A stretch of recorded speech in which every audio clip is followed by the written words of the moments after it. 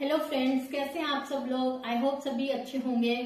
आज हम धनतेरस मनाने जा रहे हैं। इस दिन भगवान धनवंतरी जी का जन्म हुआ था और वे समुद्र मंथन के समय सोने का कलश हाथ में लिए प्रकट हुए थे।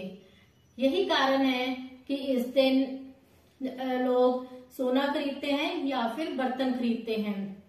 इसके पीछे की कहानी यही है और जो उस कलश में अमृत था, उससे उन्होंने देवताओं को अमर किया था, उनके रोग दूर किए थे।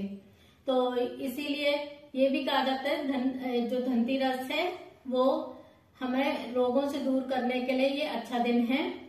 तो ये हमारी हेल्थ और वेल्थ दोनों के लिए अच्छा है।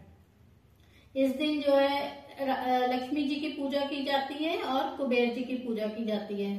धनतेरस के दो दिन बाद लक्ष्मी जी समुद्र मंथन के समय प्रकट हुई थी तो इसलिए दिवाली धनतेरस के दो दिन बाद की जाती है। तो हमने देखा है कि धनतेरस दिवाली के दो दिन पहले आता है।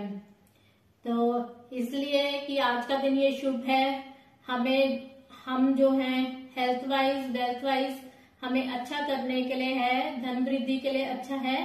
तो मैं यही कामना करूँगी कि जो लोग भी मुझे सुन रहे हैं, जो मुझे जानते हैं, जो मुझे नहीं जानते और जो मेरे साथ जुड़ चुके हैं तो वो उन सब के धन में वृद्धि हो और सभी हेल्दी रहें वेल्दी रहें तो यही मेरी इच्छा है और सभी खुश रहें, स्वस्थ रहें।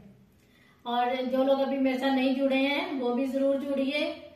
तो मैं आपसे कुछ बात करती रहूँगी और मैं सबको जो भी है धनतेरस की शुभकामनाएँ देती हूँ। तो happy Dhanteras to everyone who is listening to me, to everyone all around the country. So thank you.